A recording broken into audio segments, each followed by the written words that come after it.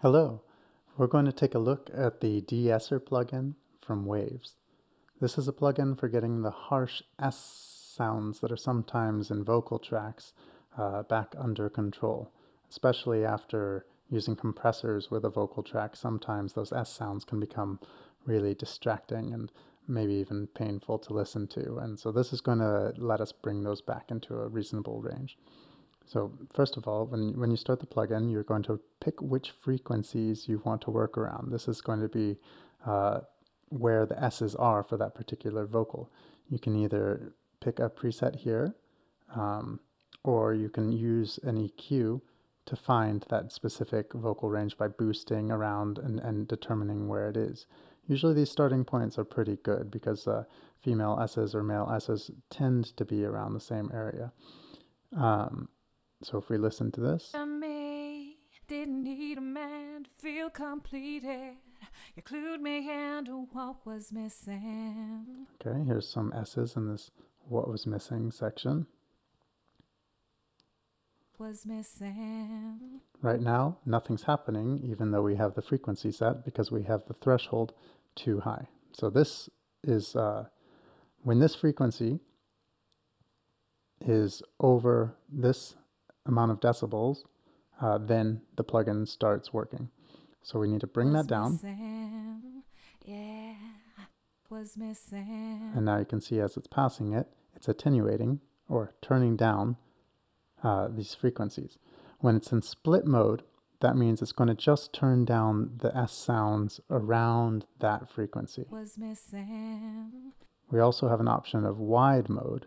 Wide mode means when the S sounds come in, over this decibel, it's going to turn down everything in the track. Was missing. So if you wanted everything to be removed every time there's an S, you have it on wide.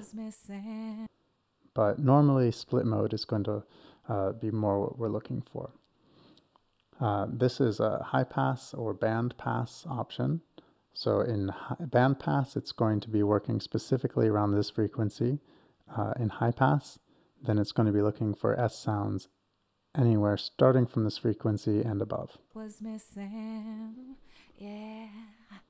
And if, you, and if you want to hear specifically the audio that is in this range that you set, then you can go to S.